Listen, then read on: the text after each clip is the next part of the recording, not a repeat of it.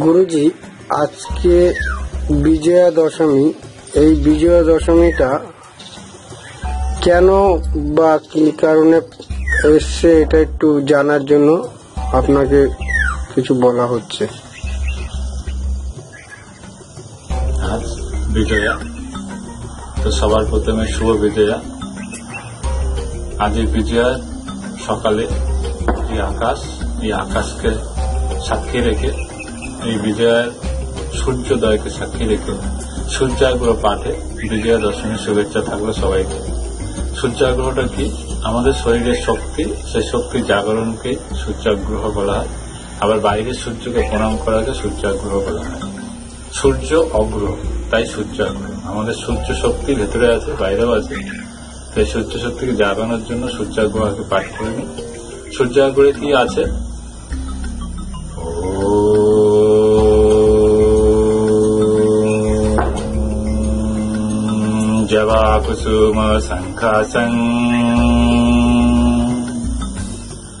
कस्य पेयं मातुतिम् धावन्तरिम् सर्वपाप्गणम् वाकरम्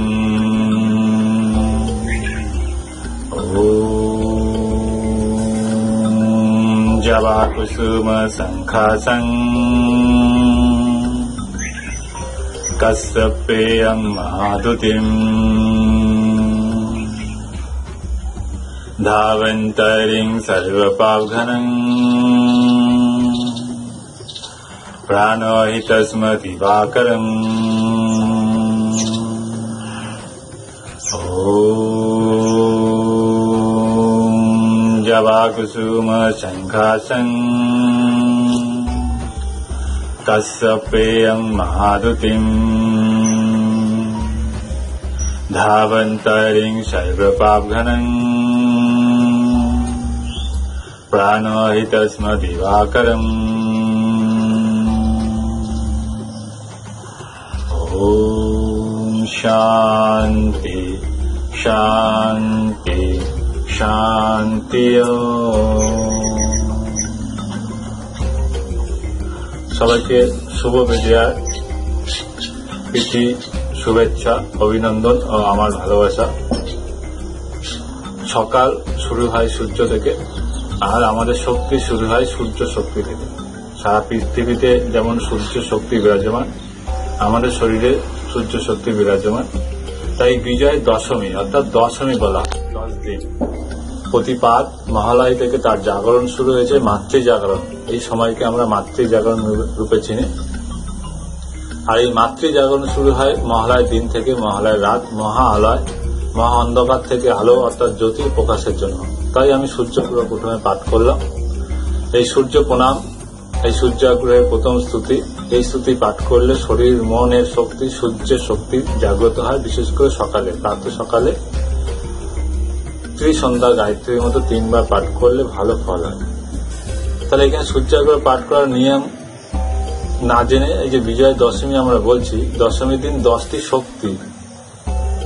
আমাদের মাতা, জগৎ জননী মাতা, জগৎ মাতাকে দেওয়া হয়েছিল, মহামায়াকে দেওয়া হয়েছিল একটা সময়, যখন ওই পৃথিবী অন্ধকারময় ছিল অসুরদের জন্য। অসুর, যারা দের ভেতরে সুর ছিল না, তারা বাক্যে কুকথা বলতো বাক্য শুদ্ধি ছিল না। বাক্যের ত্রুটি হতো, বাক্যের মধ্যে বারবার গলত থাকতো। এই যে কথাগুলো যে বলতো, এখনও কিছু মানুষের আছে, তাদের বাক্যের স্বীকৃতি করার জন্য এই দশমী, অর্থাৎ দশটি শক্তি মাতাকে দেওয়া হয়েছে। এই দশ শক্তির মাতাকেই দুর্গা, দুর্গতি নাশিনী বলা হয়। আর এই শারদ শরৎ পূজায়, শরৎ মাসে ওনার আহ্বান হয়, উনি আসেন, তাই ওনাকে শারদীয়া বলা হয়। তাই শারদীয়ার প্রীতি শুভেচ্ছা সবাইকে। শুভ বিজয়া। এই শুভ বিজয়া যে দশটি শক্তি, কি কি শক্তি? আমাদের শরীরে দশ চক্র বলা হয়। আমাদের শরীরের ভেতরে দশটি ইন্দ্রিয় আছে। দশেন্দ্রিয় শক্তি। আমাদের শরীরে দশটি প্রকোষ্ঠ, দশটি নারী শুদ্ধি করার জন্য ব্যাখ্যা আছে। আমাদের শরীরে দশ চক্র যা জাগ্রত হয়। অর্থাৎ আমরা যদি বলি কুণ্ডলিনী চক্র বা কুণ্ডলিনী চক্র বা কুণ্ডলী বলা হয়। কুলো কুণ্ডলী এই দশচক্রের ভেতরে দশটি ইন্দ্রিয়, দশটি দ্বার আর দশটি শক্তি জাগরণকেই দুর্গতি দুর্গ নাশিনী, দুর্গা দুর্গতি নাশিনী বলা হয়েছে। আমার ভেতরে যে দুর্গতি আছে, তা সব গতিতে পরিণত হবে। আমার ভেতরে যে দুঃখ, কষ্ট, ভোগ, অশান্তি এগুলো আছে, সেইগুলোকে আলো জ্যোতির্ময় হয়ে ওঠা। তাই এটা জ্যোতির পাঠও আছে। কি বলেছে? ॐ Sato ma Satyagamaya gamaya Jyotirgamaya Mriturma Mritam Gamaya আমাকে অন্ধকার হইতে আলোর পথে নিয়ে চলো অসত্য হইতে সত্যের পথে নিয়ে চলো মৃত্যু হইতে অমৃতের পথে নিয়ে চলো এই যে পাঠ এটাকে জ্যোতির পাঠও বলা হয়, এবং এই যে জ্যোতি, সবার ভেতরে জ্যোতির প্রকাশ হয়। তাই দশমীর দিন বিজয়া বলা হয়েছে বিজয়। তাহলে মা এসেছিলেন, এখানে ছিলেন, ওনাকে বিজয়া জানানো হচ্ছে। ওনাকে কি আবার ওনার গোলকে পাঠানো হচ্ছে? ওনাকে আমাদের প্রণাম জানানো হচ্ছে। ওনাকে শক্তি দেওয়া, দাতা হিসেবে আমরা পেয়েছিলাম, সেই দশ দিন ধরে, সেই দশ দিন পরে ওনাকে আবার গোলকে ফেরত পাঠানো আমাদের শক্তি জাগ্রত হয়ে মাকে জাগ্রত করে দশ দিনের বিজয়া করা তাই দশম দিনের শুভ বিজয়া আবার সবাইকে থাকল। বিজয়ার দিনে শক্তি জাগরণ করুন এই শক্তি আগামী বছরে যাতে আবার ভালোভাবে জাগ্রত হয়, যদি কেউ অন্ধকারের মধ্যে চলে, অসত্যের মধ্যে চলে, সেই শক্তিকে জাগরণ করতে হবে। প্রথম শক্তি মাতৃশক্তি, দ্বিতীয় শক্তি পিতৃশক্তি, তৃতীয় শক্তি গুরু শক্তি চতুর্থ শক্তি পরম শক্তি। আর ত্রিশক্তির জাগ্রত কি? ব্রহ্মা বিষ্ণু, মহেশ্বরের শক্তি। আর ইন্দ্র পঞ্চশক্তির জাগরণ। এই শক্তির জাগরণ যারা করেছে, তারা দশভুজা। দশভুজ, দশটি মাথা রাবণের মতো, দশটি হাত, বা দশটি শক্তির অধিকারী হয়েছে।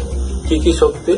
আমার বুদ্ধি শক্তি, আমার চিন্তা শক্তি, আমার শান্তি শক্তি, আমার দৃঢ়তা শক্তি, আমার বাক্য শক্তি আমার সততা শক্তি, আমার ধ্যান শক্তি, আমার পরম শক্তি, আমার স্নিগ্ধ শক্তি, আমার সমৃদ্ধি শক্তি। এই দশ শক্তির সংমিশ্রণে মা দশভূজা পৃথিবীতে এসেছিলেন অসুরদের দমন করার জন্য। আর তার শেষ দিন, অর্থাৎ দশম শক্তির দশটি কার্যের শেষ দিন, তাই বিজয়া দশমী বলা হয়। আবার সবাইকে বিজয়া দশমীর আমন্ত্রণ থাকল। আনন্দ করুন, ফুর্তি করুন। আর সকাল থেকেই আনন্দ শুরু হয়। সারাদিন আনন্দের মধ্যে থাকুন।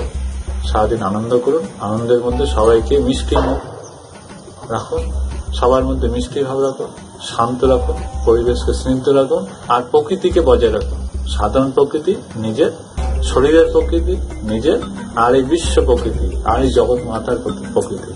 তিনটে প্রকৃতিকে বজায় রাখুন। সুস্থ থাকুন শান্ত থাকুন পরিবেশকে সতেজ পরিষ্কার রাখো ধন্যবাদ সবাইকে আমার প্রণাম।